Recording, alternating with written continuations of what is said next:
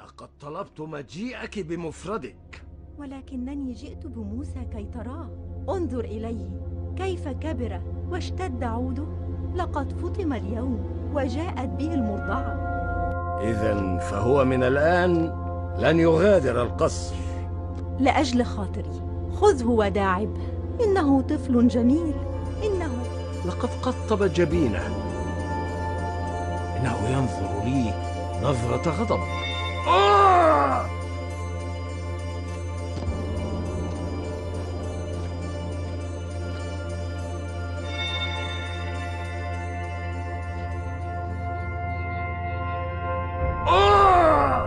لقد جذب لحيتي بقوة كاد أن ينزعها من ذقني أيها الشقي إنه ليس بطفل.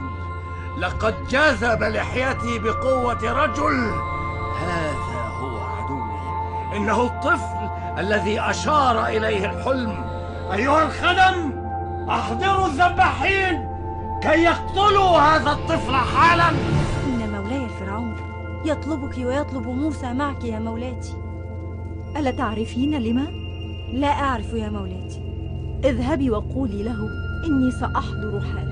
اقتلوا هذا الطفل حالا. انتظر إنه مجرد طفل. أنا عندي حل. سيؤكد أن موسى ليس هو الطفل المقصود. هذا الطفل ليس له حل إلا قطع رقبته. إنه لا يعي ما يفعل.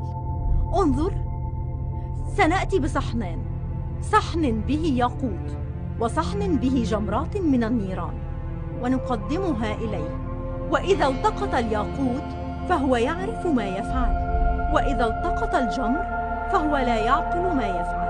إذا أحضروا الياقوت والنيران. هيا قربوا منه الصحنين.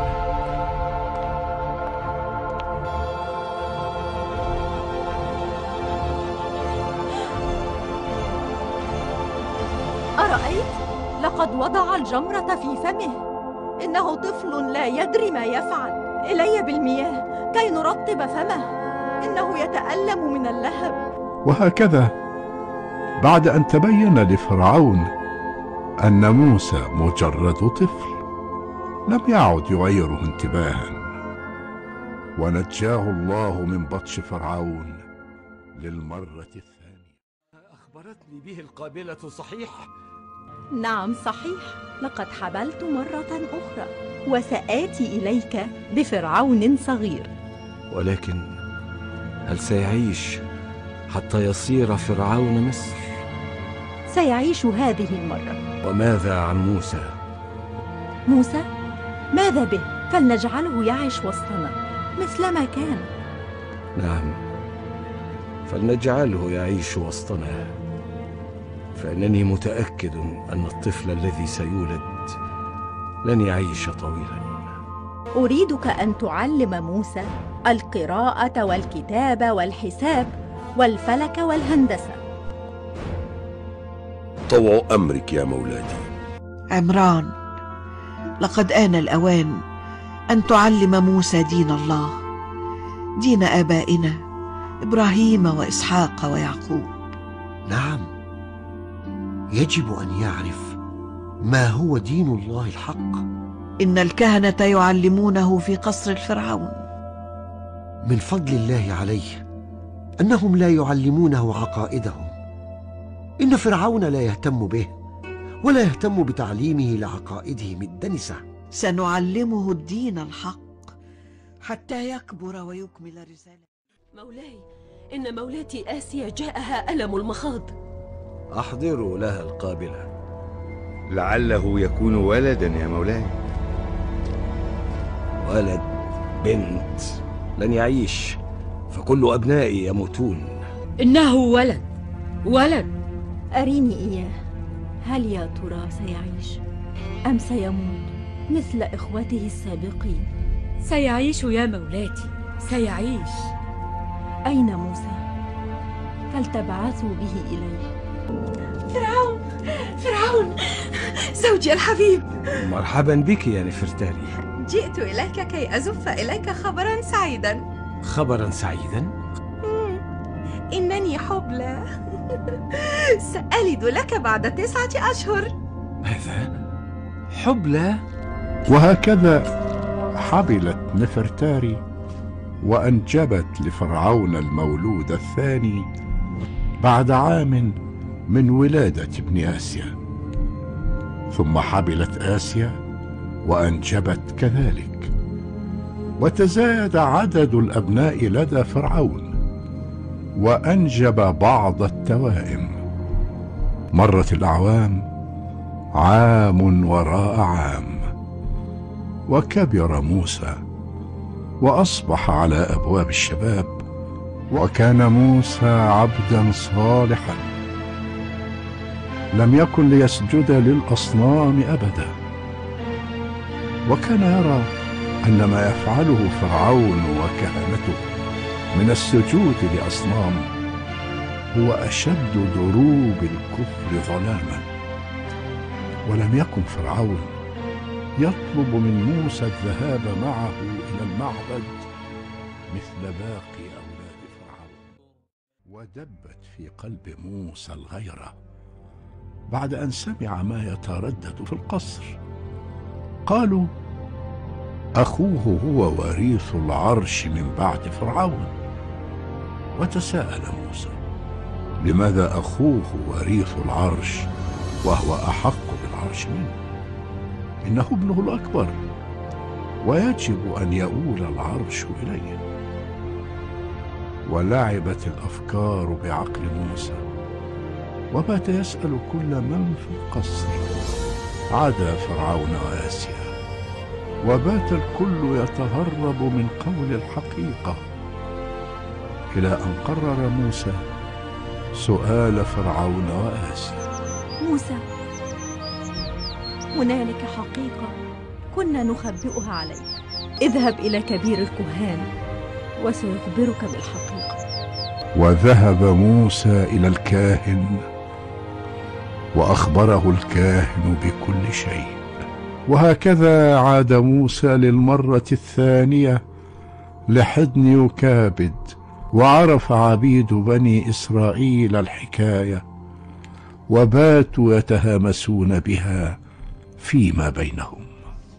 هيا يا موسى يجب أن تتعلم الصلاة من أبيك عمران. سنقص عليك من أنباء الرسل. وسأشرح لك دين الله الحق. لقد كان أبوك منذ صغرك يجهزك لمثل هذا اليوم. وقرأ عمران لموسى من المخطوطات التي ورثها عن آبائه. وكان موسى يستمع جيدا وتقرب موسى من دين الله أكثر وأصبح يقضي وقت فراغه في القراءه ومرت سنوات كثيرة. سنة وراء سنة. ويبلغ موسى مبلغ الرجال. وكان كل يوم يمر يعلو شأن موسى لدى قومه. وكان كعادته رؤوفا ورحيما ويساعد قومه ويشد من أزرهم. وكان قومه دائما يشكون إليه مواجعهم وضعفهم. كيف نخرج من مصر يا موسى؟ وقد شدد فرعون الخناق علينا. إننا نهلك يا موسى. إن بني إسرائيل يهلكون الواحد وراء الآخر من أعمال السخرة التي يفرضها علينا فرعون. ألم يحن الوقت بعد كي نستريح من ظلم فرعون؟ وكان موسى يشد من أزرهم. ويطلب منهم الصبر على البلاء لأن آخر الصبر هو الفرج وإن مع العسر يسرا.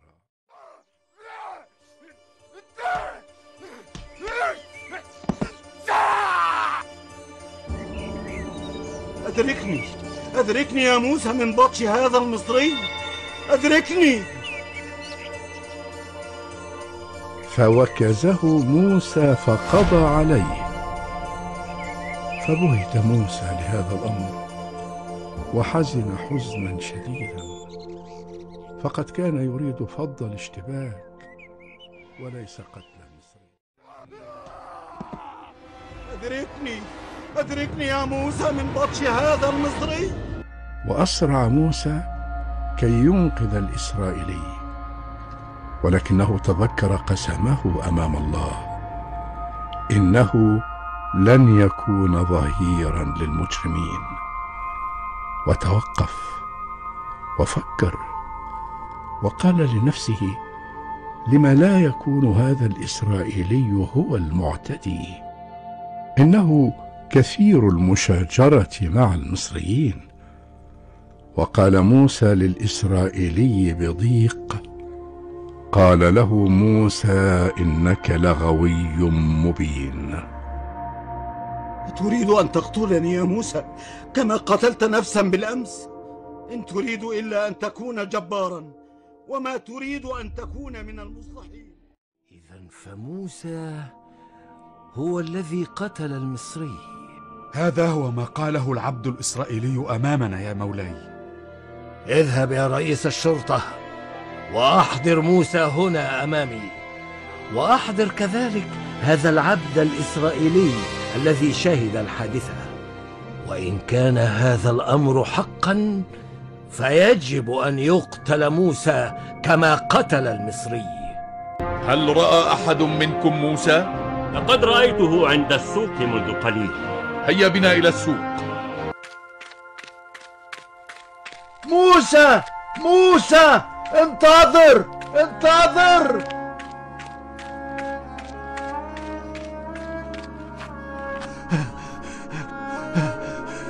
اهرب اهرب يا موسى اهرب.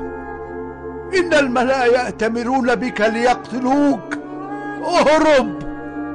إني لك من الناصحين. لقد عرف فرعون كل شيء وبعث رئيس الشرطة وجنوده لإحضارك وخرج موسى من المدينة خائفا يترقب ودعا وظل موسى يسير في الصحراء أياما وليالي كثيرة.